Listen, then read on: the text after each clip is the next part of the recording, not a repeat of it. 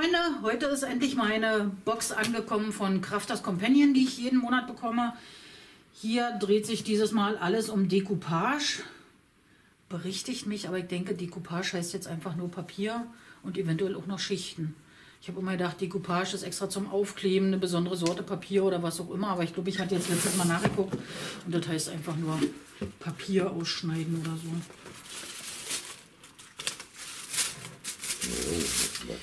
Ja, hier haben wir jetzt diese Decoupage-Papiere, also die Papiere, die man übereinander schichtet. Wie rum ist das jetzt hier richtig? Da sind lauter so kleine Abschnitte drin. Die muss man aus oder kann man ausstanzen. Hier sind jetzt so verschiedene. Sind da jetzt mehrere verschiedene oder bloß zwei? Zwei. Also einmal Rosen und einmal dieser Flieder. Stanzen wir dann nachher mal aus. Dann gibt es Stempel, auch Rosen und Flieder, weil wenn diese Teile dann mal alle ausgestanzt sind, wäre das ja alle, könnte man nicht mehr mit arbeiten. Aber wir haben ja diese Stanzschablonen, um das auszustanzen. Und wenn wir das jetzt stempeln können, können wir uns jederzeit neue Blüten stempeln und wieder ausstanzen. Sehr raffiniert. Cool durchdacht, ja. Ja. Dann haben wir, sowieso. ja, das, dann haben wir wieder Bänder in den passenden Farben dazu, die jetzt für die Flieder und so was vorgesehen sind. Wir haben wieder ein paar Sprüche-Stempel mit dabei. Wir haben natürlich Kartenrohlinge, damit wir gleich Karten machen können. Und wir haben noch ganz tolle Papiere damit drin und natürlich auch noch ein paar Halbperlen, dass man das da auch mit aufkleben kann. Einfach wieder ran.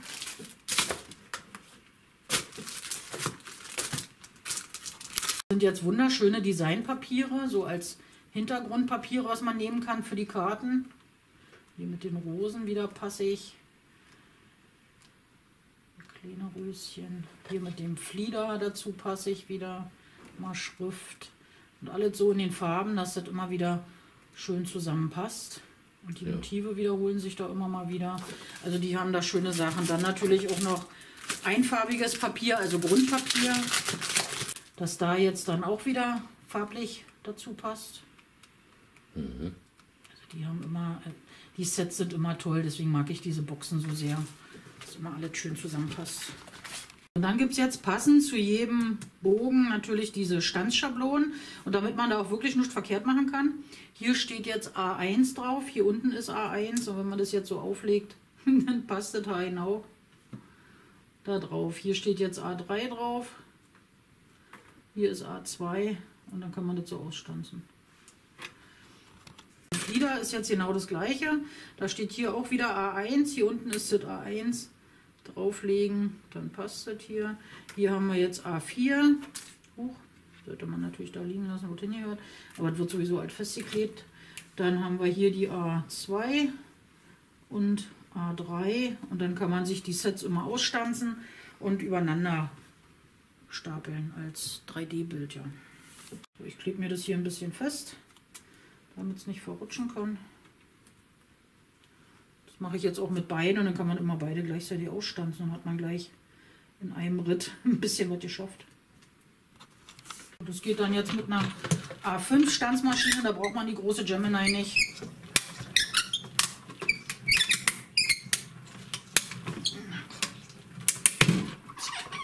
Das hört sich mal gefährlich an. ja. So, dann fallen die Teile schon raus.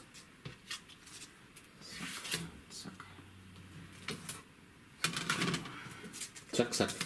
zack, zack. Und dann werden sie bloß übereinander geschichtet und dann hat man immer kleine Blumenbouquets.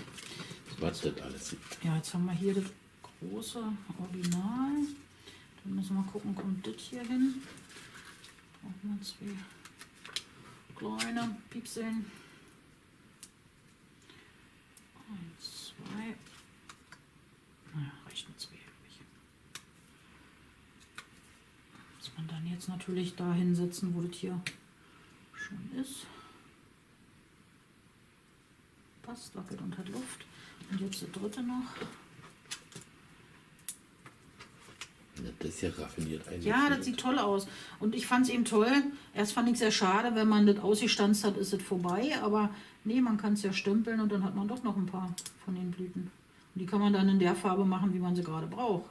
Dann hast du sie jetzt nicht nur in der Farbe, wie sie jetzt hier vorgegeben sind, sondern kannst sie jetzt in lila, in blau, in pink oder wie du sie haben willst, stempeln und ausstanzen. Ist das raffiniert? Das ist raffiniert, die sind toll. Hm? Gleiche geht jetzt hier mit dem Flieder auch noch. Haben wir auch erstmal so eine kleinen Abstandshalter. Die sind vielleicht auch ein bisschen dick, da gibt es auch noch dünnere, glaube ich. Jetzt kommt die hier wieder drauf. Hm, Zack. Dann der hier.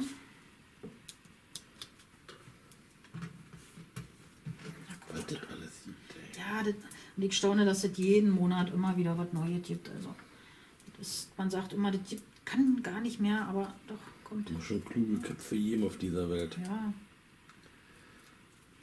Irgendwie schon. So. 3D-Bilder gibt es ja auch schon eine ganze Weile. Aber dass man sich die dann auch noch wieder selber machen kann, nachmachen kann, das ist eine So tolle Idee. viel, wie man möchte. So viel wie man will. Hm? Ist cool. Obwohl ich weiß nicht, ob man da 100 Karten jetzt von macht. Hier sind schon ganz viele drin von diesen Teilen.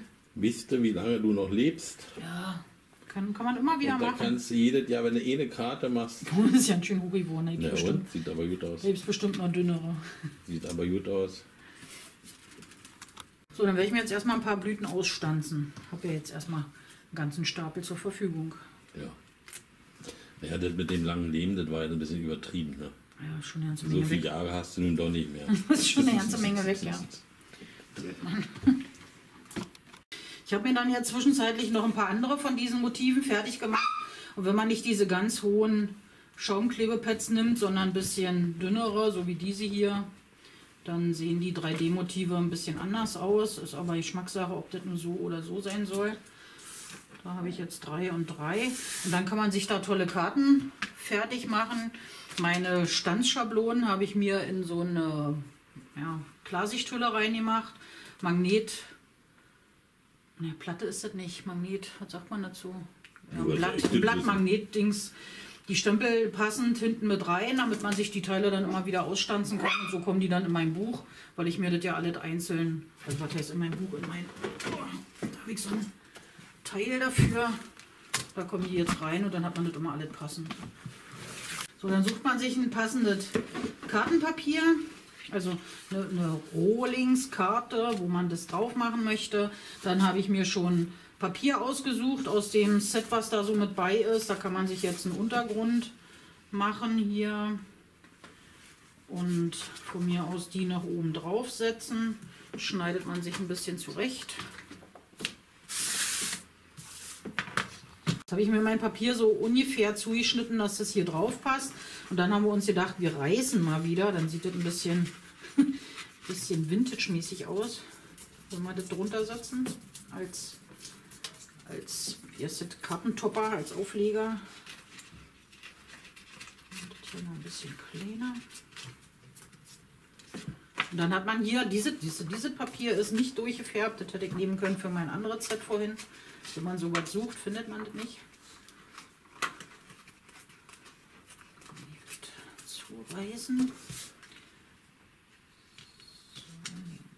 Hier.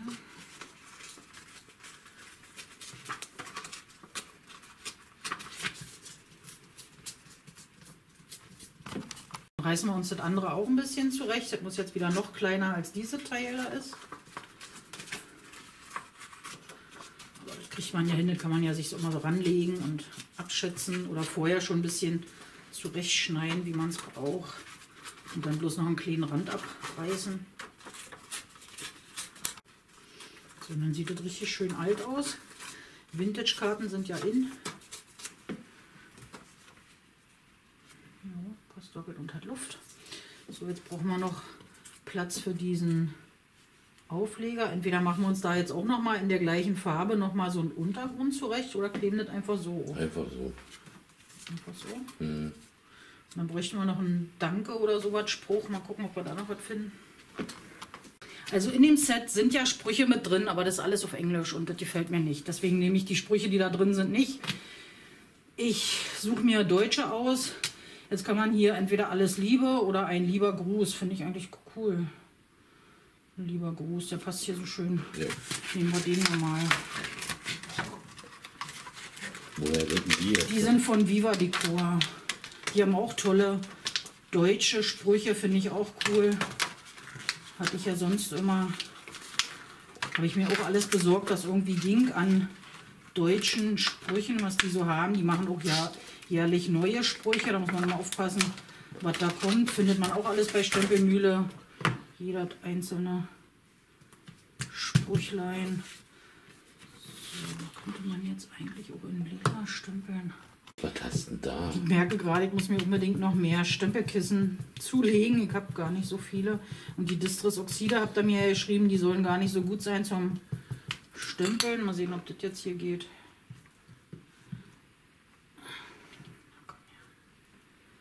Naja, Ah nicht schön, aber selten. Probier weiter. Was probier weiter noch? Noch ein anderes Ach, hier. weiß ich nicht.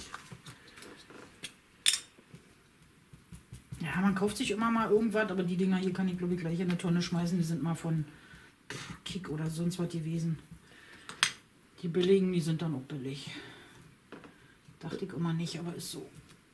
Nee, noch bescheuerter, die kann ich gleich in eine Tonne hauen. Also weg damit. So, dann probiert man sich da eins hin. Die Stempel müssen gut sein und die Stempelkissen. Gut, Und was sagt uns das? Wir sind wieder bei aus. Versa Fein Clear. Altbewährtes ist immer besser. Ja. Und wer nicht reißen mag, der kann sich seinen Spruch auch mit diesen Motivscheren oder wie heißen die? Zackenscheren waren das früher. Aber jetzt kriegt man ja so viele Motive, das sind ja keine Zacken mehr. Kann man sich da einen Spruch ausschneiden, braucht keine Stanzmaschine, braucht keinen Stanzer. Nimmt seine alten Scheren, die man sowieso rumliegen hat eigentlich. Jeder hat so eine Scheren rumliegen. Und dann kann man sich hier noch einen Spruch hinmachen. Und dann ist die Karte eigentlich auch schon fertig. Zack. Ja. Um jetzt hier den Rand noch ein bisschen einzufärben, dafür gehen diese einfachen Stempelkissen plötzlich wieder. Also braucht man sie doch nicht wegschmeißen. Kann sie für sowas verwenden. So, und dann haben wir Spruch, Blümchen, Karte. Jetzt müssen wir bloß zusammenkleben. So, muss man bloß aufpassen, dass man die Karte dann auch richtig beklebt. Nicht, dass man die da öffnet, wo man dann den Spruch nicht richtig lesen kann. Geht bei mir jetzt hier unten auf. Also setze ich mir jetzt hier meinen Kartenaufleger hin. Meinen alten, grunchigen Kartenaufleger. Du hast ja erst dazu gemacht. Den nächsten. Eigentlich ist Kartenbasteln ganz einfach. Und entspannt. Entspannt, ja. Weil man nichts falsch machen kann. Das Schöne daran ist, du kannst nichts falsch machen, weil pff, weiß ja keiner, ob es hätte anders sein sollen. Außer du hast einen Klugscheißer hinter der Kamera. Ja, außer du hast da so ihn stehen. Dann wird es stressig. Dann brauchen wir hier ein paar Dimensions, also solche Schaumklebepads.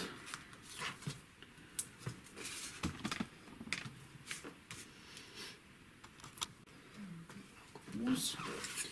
Das hier auch noch mit solchen Teilen. Mit diesen Pets arbeitest du jetzt Jahre her. Ja, so. komisch ist so.